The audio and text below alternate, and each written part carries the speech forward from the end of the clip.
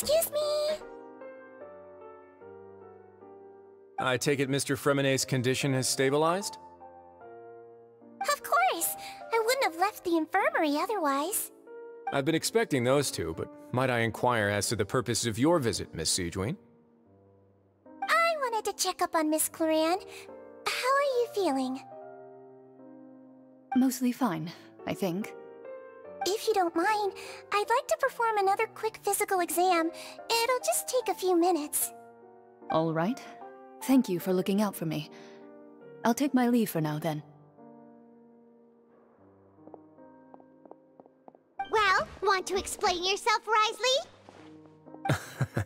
of course, but I'm not partial to the word choice of explain. How about enlighten?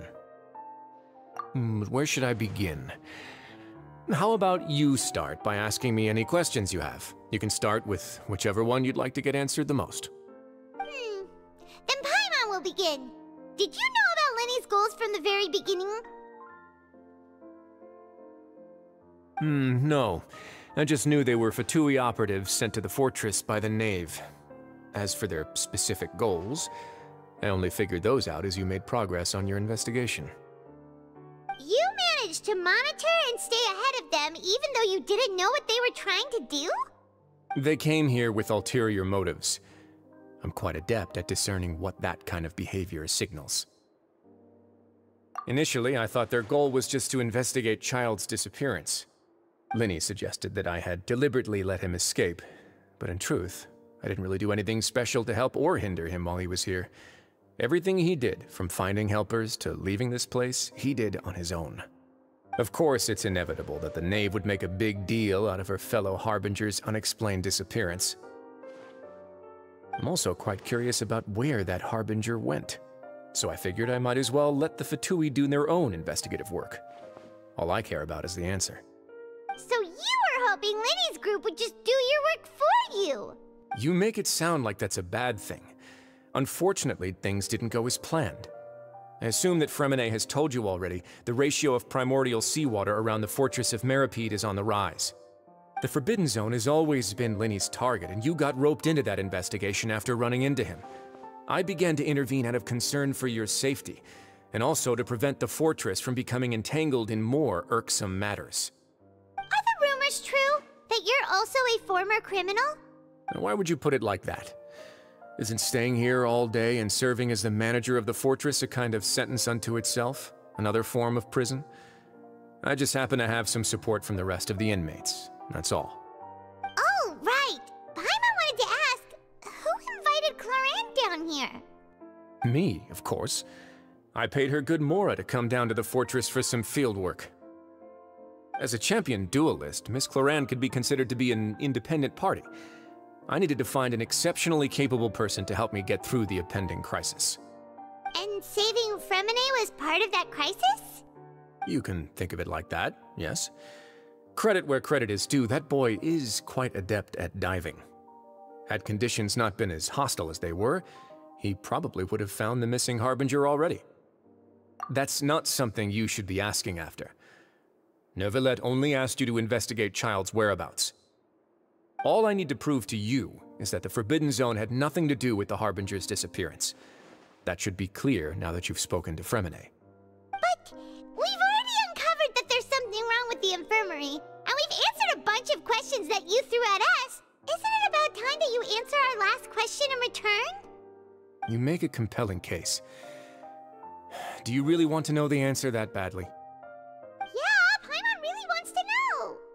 Even if the truth may not be pleasant? Follow me.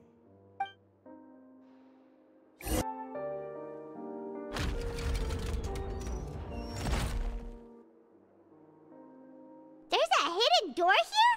And a whole basement behind it? Huh. You're pretty good at hiding stuff, Wriothesley. It seems you've forgotten just what kind of place the Fortress of Meropide is.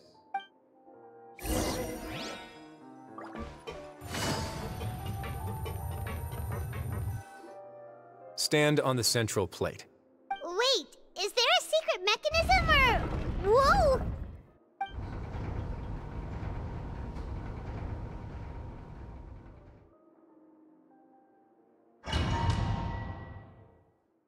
This is the Forbidden Zone? Honestly, for a place so well hidden, Paimon sure doesn't see anything special.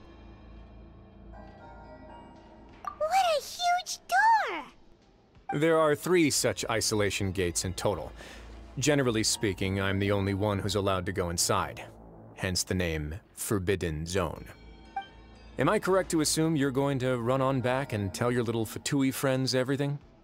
Well, I... Paimon wasn't thinking of keeping anything from them. Well, I'd advise you wait until you've seen the whole truth of this place for yourself before deciding whether or not to tell them.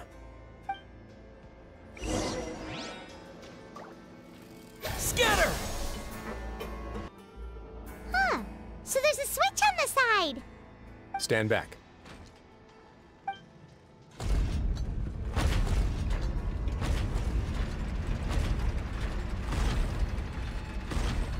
Whoa. They all just went up one by one. Go on, have a look.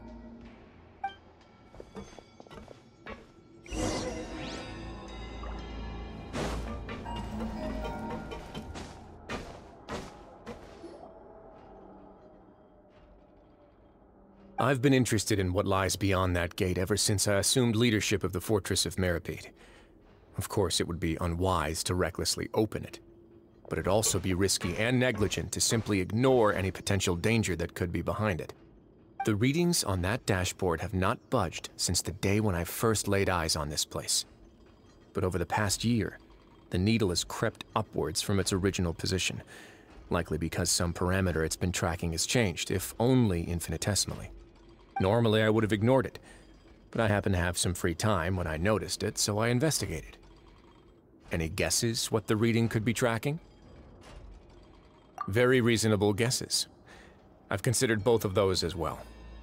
Unfortunately, our dashboard is tracking something less ordinary. The temperature should vary with weather and climate changes, so for something that rarely shifts, the water pressure is more likely. We ran a few tests to increase the pressure from the outside, but the readings didn't change at all. Later on, a few more possibilities occurred to me, such as a potential connection with the primordial sea. I began to make a few preparations based on that hypothesis. Over the past few days, the needle has moved again. With that, and the symptoms that Freminet displayed after leaving the fortress, I can now confidently conclude that the readings represent the concentration of primordial seawater in the seawater nearby. The concentration of primordial seawater? But we're already under the sea. And that is precisely the problem. We're at the bottom of the sea, and now we're surrounded by toxic seawater. Somehow, primordial seawater got mixed in, and the concentration is steadily rising. Yes, that's very likely. But forget about the two of us. Not even Neuvillette knows where the primordial sea could be, much less where we could find and plug a leak. Oh. Oh! Seems like you've figured it out. I believe the primordial sea lies directly beneath this sluice gate. For some reason, the primordial seawater levels have risen significantly, and it's now very close to us. The indicators are now red. Although the gate still stands, some primordial seawater has already leaked out and mixed into the sea around us. If this continues, soon it will no longer be able to hold back the primordial sea at all. Yeah, you know what the legends say. If this place falls, then everyone in Fontaine will be turned into puddles in the span of a night. But that's just too weird! Why would the Fortress of Meropide be built right above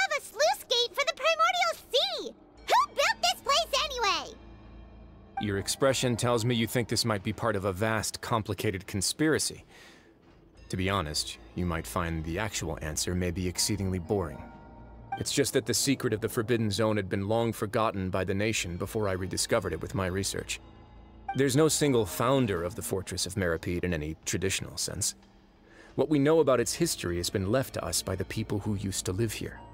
When the previous Hydro Archon Egeria ruled the land, all convicted criminals from Fontaine were exiled. The people drove the criminals away like a wolf pack chasing away the banished. The criminals received no sympathy of any kind from the people. They were exiled to the desolate seaside, where they experienced only pain, struggle, and the bone chilling cold. Some of them began to repent and prayed to the Hydro Archon, asking if there was still anything they could do. The Hydro Archon took pity on them and said, You may go guard my secret, deep underneath the waves. And so, leaning on the power of the Hydro Archon, they gathered underneath the sea and began to build a fortress. They became a community down there in the deeps, and over the years helped it to grow. As the number of exiles increased, more and more people joined the community. When the first group of exiles died, they left the yet unfinished fortress to their successors. The Hydro Archon continued to lend her support, allowing the fortress and what it stood for to continue growing ever larger. Before long, this dark underwater fortress became the sinner's only home. And with that, the people here stopped referring to the fortress as a prison. They saw themselves as repenting sinners who would regain their freedom once they had sufficiently redeemed themselves. But as time went on, people also realized that the fortress was a lonely place. Once they had gotten used to life here, they could no longer feel comfortable living in the overworld. Once they had finished serving their sentences, some people left and some others chose to stay. They'd find some idle position and let their withered souls fade away with the ancient secrets of the past. After many, many centuries, Few people still remember the reason for the fortress's founding. Now they just see it as an integral pillar of Fontainian society, as the place where criminals deserve to be sent. Now and again, researchers manage to break one law or another and live out their days in the fortress. I learned all this from an elderly historian. Everyone else just thought he'd made it all up. But now you know every part of that history is true. Indeed. It's just as the prophecy says. If this gate fails, then everyone will be dissolved into the sea. To be frank, not really. But sadly, that hasn't stopped this prophecy from proving all too accurate. Prophecies are troublesome things. Just hearing one will create the first wave of panic. Seeing signs of it will bring about the second, and actually witnessing it in real time, the third. Let's go somewhere else. I want to show you something.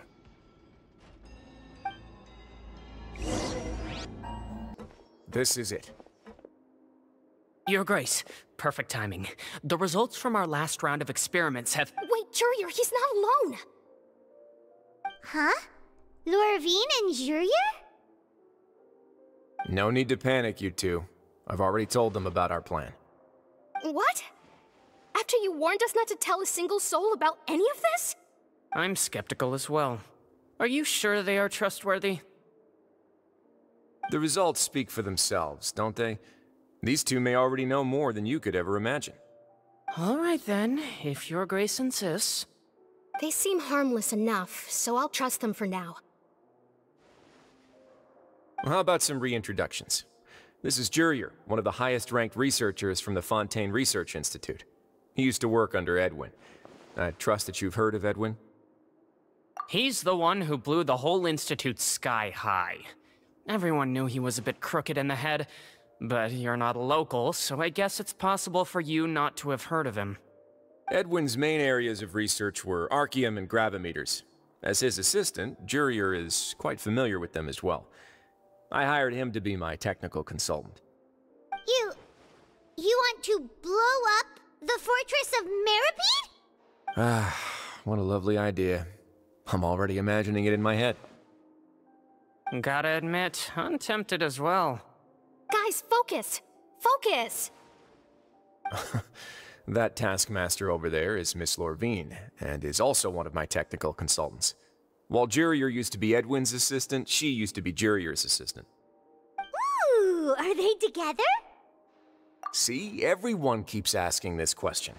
Are you too sure you're not a couple and just using your work as a convenient cover? I... Your Grace, I am not in a relationship with this man. If I dated her, I'd officially be madder than Edwin. Jeez, uh, forget I said anything then. Follow me. Whoa, there's another door that goes right up. Your constant amazement makes it seem like the fortress can do anything.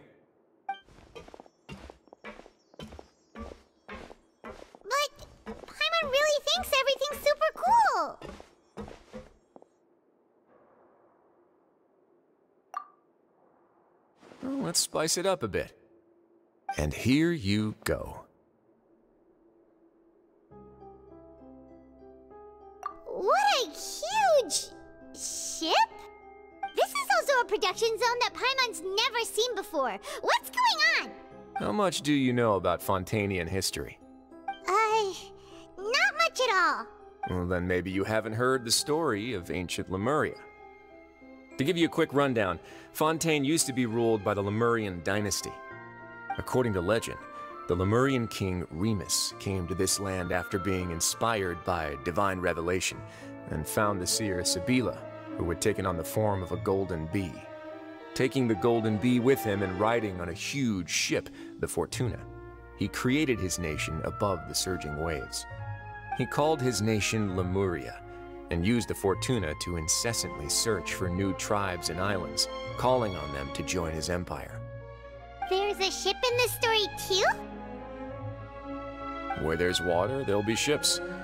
People believe that hope can always be found at the end of a voyage. Do you believe that too? To a point, I think. As you've already seen, I have a whole factory's worth of labor, materials, and technology at my disposal. Certainly can't hurt to give it a try. So the moment I began to speculate that the Primordial Sea might lie underneath the gate, I also began this project. Were you inspired by the legendary Fortuna? Hmm, maybe.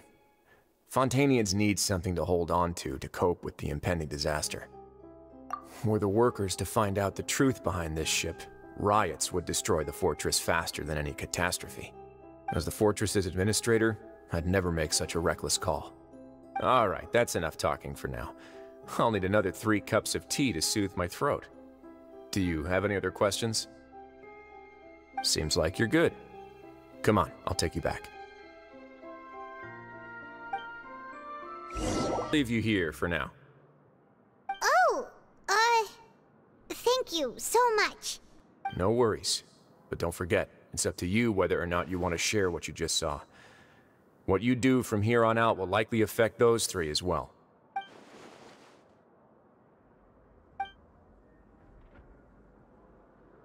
Yeah, we'll put a lot of thought into for sure. Great. I look forward to what happens next.